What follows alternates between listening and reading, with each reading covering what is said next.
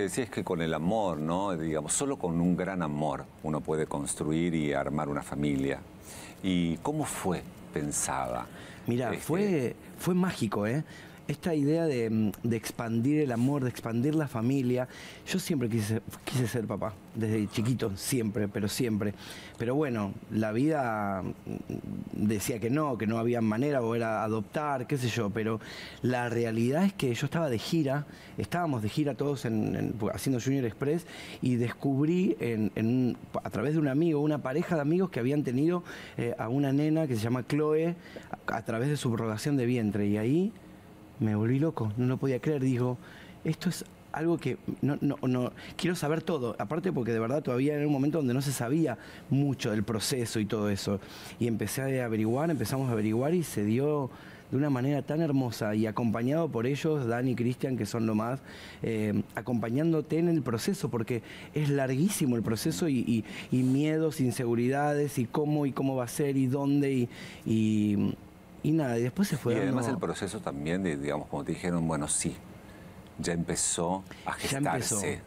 Uf, ¿no? eh, fue, eh, fue increíble, ¿no? Y, de- y de- y además primero no lo podíamos contar porque hasta que, eh, hasta que se dé y que, y- y que realmente pueda haber quedado embarazada y todo eso, eh, no lo queríamos contar. Cuando lo contamos, eh, primero obviamente en el círculo más chiquito, fue, fue una explosión de amor para las familias, eh, para los amigos, como, pero ¿cómo? Pero se lo tenían guardado, pero ¿cómo fue?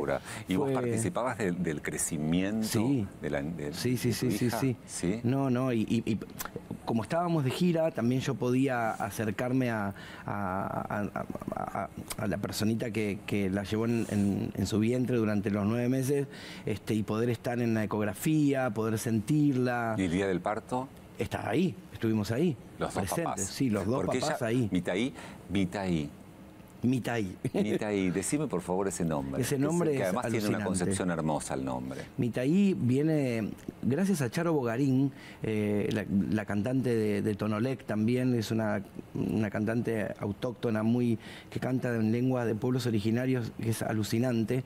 Eh, me invitó a, a un espectáculo que era para los más chiquititos en lenguaje eh, así de pueblos originarios y el título era Mitaí, que significa niño.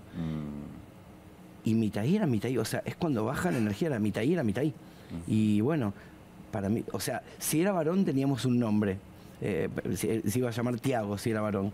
Pero, mira, esto nunca lo conté. Pero, y, mm, y Mitaí fue Mitaí desde el momento que, que vimos el programa. Cuando, cuando, ahí, cuando empieza, empiezas a verla. La primera vez yo me, me temblaba todo, porque aparte la recibimos nosotros, yo corté el cordón eh, y, y lo primero fue recibirla, o sea, era una mezcla de, de- de emoción, de miedo y de ¿y ahora qué hacemos? Mira los, los manitos. Esa fue la primera Dios, fotito. La primera fotito. Y entonces cortaste el cordón y, y bueno, y, y apareció el amor. y apareció el amor y que te cambia completamente la vida y, es una- uno de los motivos de mi vida más grandes. Yo lloro mucho cuando hablo de ella, porque de verdad que para mí es un sueño realmente hecho realidad. Es, una personita increíble que, llegó a mi vida para, llenarla de más colores, de más amor, de más canciones, de más ganas de, seguir eh, generando esto que hago para los más chiquitos, de confirmar que amo esto que hago. Eh, y te juro que veo feliz a mis amigos, a, a mi familia, ver a mi papá fe- feliz y a mi mamá. Eh, nada, es, es algo único. A veces es muy difícil de transmitirlo.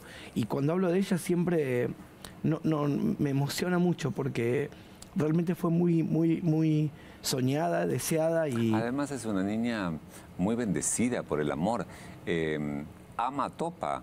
sí. Ella además de amar a su papá, porque además ella dice papá uno, no como dice papá, papá, papá, los No, dos. nos nombra cada uno por nuestro. A mí me dice Papatebo, por ejemplo. Ah, no, Papá- eh, porque no le salía Diego, entonces decía Papatebo. Papá Teo. No, y amo. Y, no- y, cuando- y ahora a veces me dice, eh, eh, me- a veces me quiere decir papá Diego. Digo, no, no, no, no decime Tebo, no pierdas papá Tebo porque amo. Es la única que me dice así. Decime una cosa. Pero entiende todo que Lo soy que, el- lo que a mí me, me- me sorprende es que además ama Topa. Tenemos un video donde vamos a ver a ella muy chiquitita.